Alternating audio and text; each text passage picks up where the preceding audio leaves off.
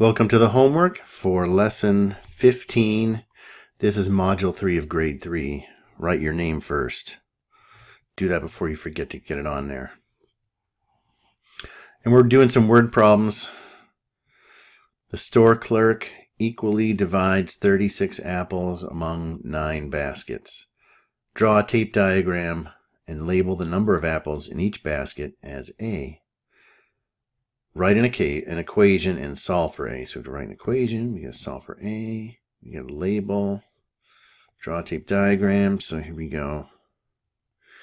There's nine baskets. One, two, three, four, five, six, seven. I'm going to need another basket. One, two, three, four, five, six, seven, eight, nine baskets, right? And the whole thing is going to have 36 apples. This is one basket. There's A. A apples in each basket. And here's our equation. We've got nine A's, so 9 times A equals 36, or 36 divided by 9 equals A. A equals 4.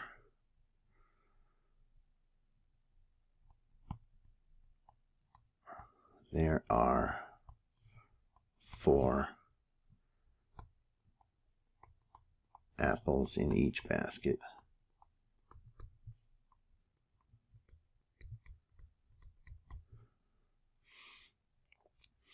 Elijah gives each of his friends a pack of nine almonds.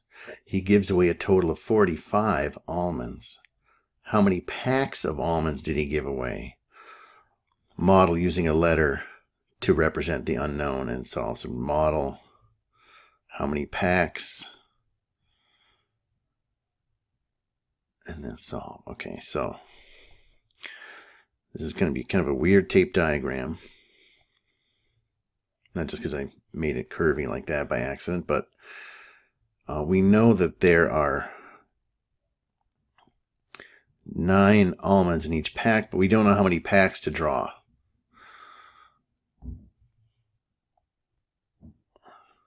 Um, but we do know there's 45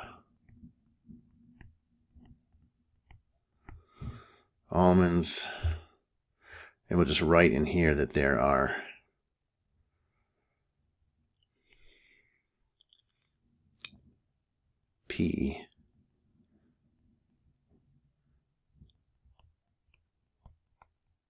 Packs of 9. So we could say 45 divided by 9 equals P, or it might be easier for most third graders to think of this as a missing factor multiplication problem 9 times p equals 45. Either way, p is going to equal 5. There are 5 packs of almonds. Denise buys seven movies. Each movie costs $9. What is the total cost of seven movies? So this is like the three different kinds of tape diagrams we have on this page. One where we know this first one, we knew how many parts there were, but we didn't know what was in each part or how big each part was. We knew the total or the, the product, the total amount. This one we knew what went in each pack, but we know how many pack parts there were. And this one we know everything except for the product or the whole amount. Seven movies, that's one, two, three, four, five, six lines inside make seven parts. Each movie is nine dollars.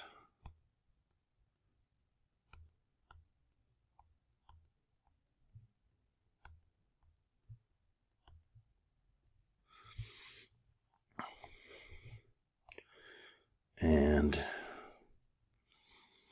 we want M for our letter, you know, just because M for movies. Nine dollars. Seven equals M. M equals 63 dollars.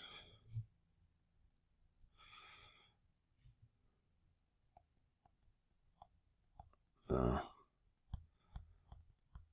movies cost $63 altogether. Have to have this picture, this labeled picture. I'm going to label this. This is one movie. Got to have this tape diagram or a labeled number bond or some kind of a labeled math picture. And here's your equation.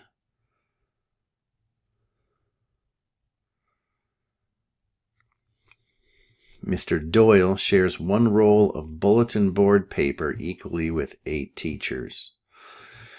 So the total length of the roll is 72 meters. So let's draw the whole, we know the total length. So here's a piece of tape.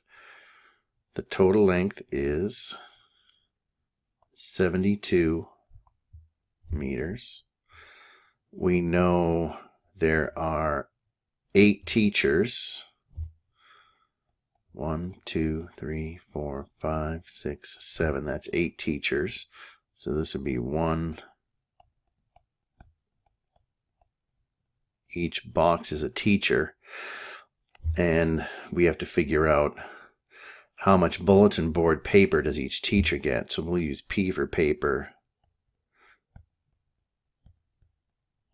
they all get the same amount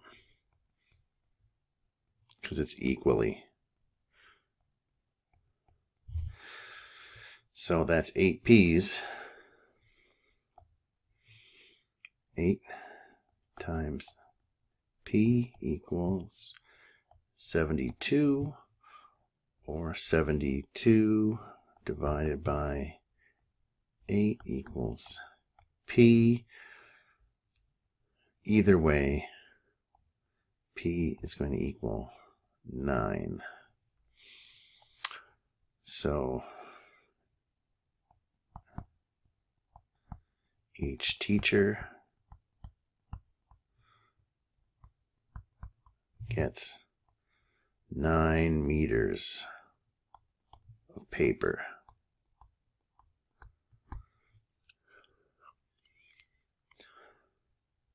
That should be enough. There are nine pens in a pack. Mrs. Ochoa buys nine packs. After giving her students some pens, she has 27 pens left. How many pens did she give away? Okay, so I'm going to draw a tape diagram again. There are nine in a pack, and she buys nine packs. So I need nine, right? One, two, three, four, five, six, seven, eight. So each one of these things is a pack. It's one pack. And each one has nine pens.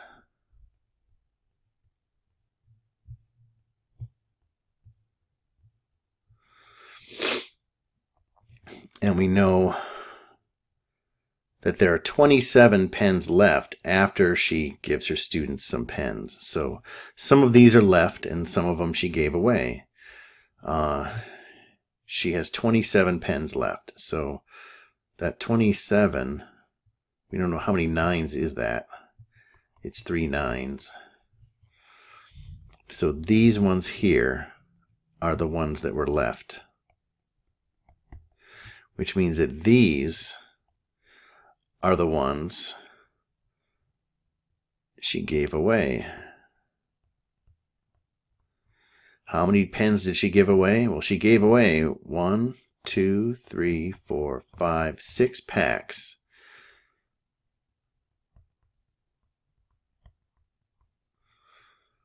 And now we have to figure out how many pens that is. Not how many packs, it's how many pens she gave away. So six times six packs times nine in each pack equals, we'll, set, we'll call it G for gave away. Right, and that's 50, 9 times 6 is 54. She gave away.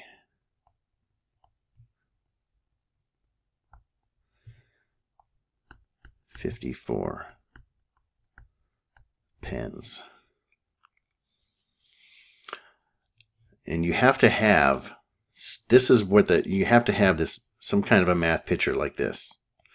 It's got to have it's got to be labeled so that everybody can clearly understand. Somebody else can understand what this is, what these nines are, um, which ones were left, which ones were given away, where that's where this six comes from, where this nine comes from. One pack, nine pens just to leave no doubt. And we have to have our answer statement here too. Alan buys nine packs of trading cards. There are 10 cards in each pack. He can trade 30 cards for a comic book.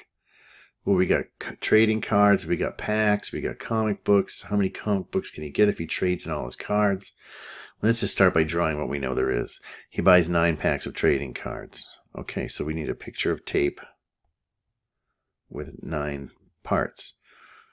Uh, one, two, three, four, five, six, seven, eight. There are 10 cards in each pack. So this is one pack. And this is 10 cards. So these are all 10s. And all I'm doing so far is I'm just drawing what it says there is. I read the first sentence, I drew a piece of tape. Read the next sentence, now there's 10 cards in each pack. Now the next sentence right here, he can trade 30 cards for a comic book. So that's 10 times 3 equals 30, or you could think of 30 divided by 10 equals 3. You know that that's a comic book. It takes three packs to make to get one comic book. So there's one comic. There's another comic.